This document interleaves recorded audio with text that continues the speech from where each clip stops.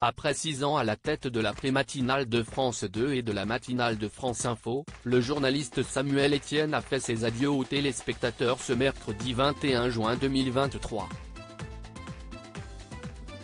Il poursuivra la présentation de questions pour un champion sur France 3 à la rentrée ainsi que ses lives sur la plateforme Twitch.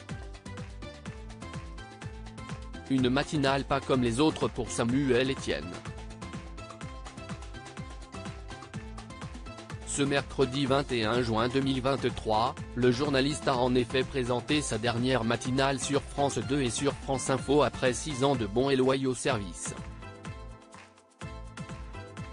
S'il a pris l'antenne comme si de rien n'était à 6h sur France 2 pour le 6h Info puis à 6h30 sur France Info pour la matinale, le journaliste du service public a tout de même consenti à livrer un petit discours aux téléspectateurs du canal 27 peu avant 8h30.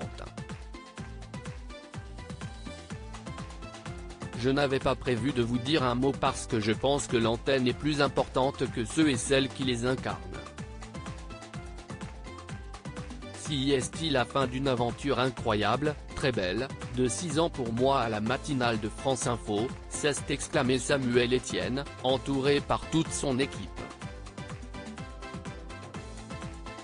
Samuel Etienne fait ses adieux à la matinale de France Info, ce n'est qu'un au revoir les applaudissements de ses collègues n'ont pas tardé.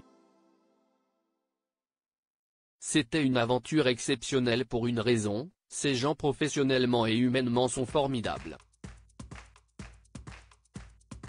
Et c'était un bonheur de se lever tous les jours à 2h du matin pour les retrouver. Donc merci à vous.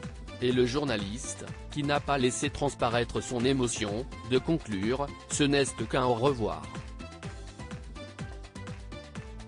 Bonne journée, à très vite. Déjà, quelques heures plus tôt sur Twitter, l'homme avait publié une capture d'écran de son téléphone pour montrer son réveil fixé à 2h du matin, accompagné de ce message, « C'est temps que le réveil sonne un peu tôt ».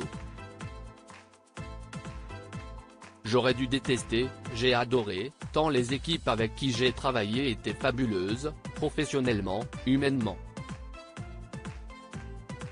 Le rythme de vie pas très sain de Samuel Etienne sur France Télévisions dans une récente interview accordée à nos confrères de télé deux semaines, Samuel Etienne avait expliqué que son rythme de vie n'était pas très sain. Je dors seulement 3 à maximum par nuit, je bois des litres de café, et j'ai arrêté le sport totalement.